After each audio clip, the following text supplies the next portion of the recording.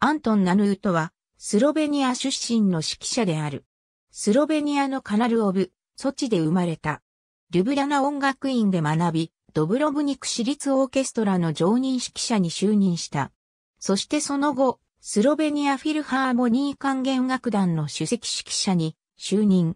同時に教育者としては母校の指揮科教授に就任した。スロベニアフィルハーモニー管弦楽団を率いて、イタリア、オーストリア、ベルギー、ドイツ、ポーランド、ソ連、アメリカに演奏旅行を行った。1981年には、スロベニア放送交響楽団の音楽監督に就任し、アメリカ、イタリア、ドイツ、スイス、ハンガリーなどに演奏旅行を行った。国外のオーケストラとの共演では、シュターツカペレドレスデン、ベルリン放送交響楽団、メキシコシティフィルハーモニック管弦楽団の演奏会で客演している。2017年1月13日、長い闘病生活の末に84歳で永眠。日本では長らく謎の指揮者とされていたが、2009年になって、清井シンフォニエッタの指揮者として初来日、実在感ある指揮者になった。なお、幽霊指揮者ではバッタモン系 CD に多くの音源を提供している、実際の演奏者とされているが、英語版ウィキペディアでは、スロベニアの国際的に著名なクラシック音楽の指揮者と記されている。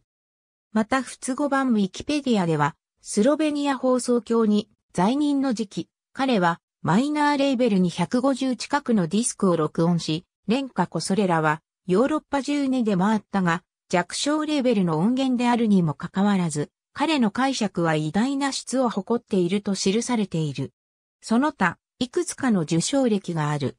AB アントン・ナヌート・キオイ・シンフォニエッタ東京ウェブ、ブラーボ、2014年9月9日、アントン・ナヌート、2014年12月3日閲覧。